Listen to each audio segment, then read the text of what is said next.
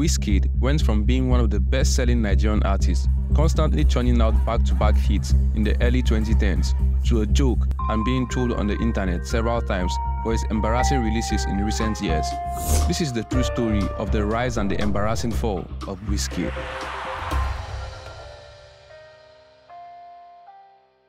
Born Ayodeji Ibrahim Balogun on 16 July 1990 in Lagos State, Nigeria, he grew up in Shita, Surulere local government area, a small suburb in Lagos State, Nigeria, the same neighborhood that was home to sonorous Nigerian singer and songwriter Simi, Pepenazi, the late OJB Jezreel, amongst others. Wizkid grew up in the shadows of a polygamous family, with his mother being a Christian and his father a Sunni Muslim, with two other wives and 12 kids in total. Growing up in this bustling city, Wizkid was surrounded by the pulsating rhythm of Afrobeat, a genre pioneered by the likes of Fela Kuti and King Sunny Ade. From a young age, Wizkid displayed an innate talent for music, drawing inspiration from his surroundings, local street jams, and household favorites. In this city, he honed his skills in the art of music. He grew up in Shita, an environment where he knew he wanted better for himself, and the drive to succeed was always in his blood. His experiences in life shaped him into the artist he became, and he learned the power of using his platform to inspire others. As a child, Wizkid faced the challenges of urban life, but was driven by a passion for music. With limited resources and against the backdrop of Nigeria's socio-economic challenges, Wizkid's journey was fueled by determination and a dream to elevate African music to the global stage.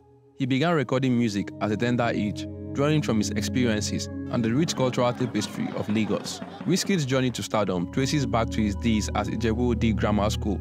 He briefly attended Lagos State University before dropping out. He later enrolled at Lead City University, but dropped out after completing two sessions. Wizkid started recording tracks at the age of 11, showcasing his remarkable talent and went by the stage name Lil Prince until 2006 when he changed it to Wizkid. However, his journey to fame was not an easy one. Wizkid would go to Point Beat Studio in Surulere, owned by OJB Jezreel, who had connections to several A-list musicians and producers at that time, who constantly trooped to his studio to work, trying to get their attention, but no one would give him a chance to show his talents. So he slept outside the studio for a long time, watching other musicians go in and out as they got their businesses done.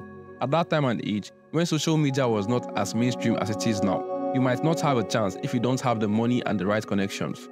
At OJB's Point Beat studio, Wizkid watched 2face Idibia record songs from Grass to Grace album. He also found himself present during the recording session for Sound Sultan's debut album, Jagbajantis. These experiences provided valuable insights and connections that would later prove invaluable in his own career. Like many Nigerian artists, Wizkid's journey can be traced back to the church, where he formed a group called The Glorious Five with a couple of his church friends. They managed to release an album prior to disbanding. Naeto C, a seasoned Nigerian musician, played a significant role in shaping Wizkid's career by mentoring and guiding him when he was just 15 years old. In 2009, at the age of 19, Wizkid caught the attention of Banky W, a renowned Nigerian artist and CEO of Empire Mates Entertainment (EME). Recognizing Wizkid's raw talent and potential, Banky W signed him to EME, marking the beginning of a transformative phase in Wizkid's career. Under EME, Wizkid released his debut single, Holla at Your Boy, which became an instant hit, propelling him into the limelight and garnering widespread acclaim. He co-wrote Omoge You Too Much, a song from Banky W's The W Experience album, showcasing his songwriting abilities. His dedication and hard work began to pay off as he continued to hone his craft and gain recognition. With his infectious melodies, distinctive vocals, and charismatic stage presence, Wizkid quickly rose to prominence in the Nigerian music scene. He collaborated with industry heavyweights including M.I. Abaga, 2Baba, and Olamide, further solidifying his reputation as a formidable force in African music. His debut album, Superstar, released in 2011, showcased Wizkid's versatility, blending Afrobeat, reggae, and hip-hop influences. It remains the second best-selling album on Not Just OK and was the most highly anticipated Nigerian album of 2011. Superstar received generally positive reviews from music critics. Superstar won Best Album of the Year at the 2012 Nigerian Entertainment Awards. It was nominated for Album of the Year and Best R&B Pop Album at the 2012 Headies Awards. Your Boy earned Wizkid the next rated award at the Headies in 2011. In 2014, Wizkid recorded Ayo, a self-titled second studio album. It featured guest appearances from Femi Kuti, Banky W, Seyi Shay, Phyno, Tyga, Akon, and Wale. Ayo won Best R&B Pop Album and was nominated for Album of the Year at the 2015 Headies Awards. The album was also nominated for Album of the Year at the 2015 Nigerian Entertainment Awards. The official remix for Ojuelegba is sung from the album that highlights the struggle he endured in the early years of his recording career, features vocals from Drake and Skepta. This song was a major breakthrough into the international scene for Wizkid, who has since left EME by that time. In 2017, Wizkid released his third studio album, Sound from the Other Side. Wizkid could not get enough of his breakthrough in the international scenes, and it seemed like this album was an audacious attempt to announce himself properly on the American stage.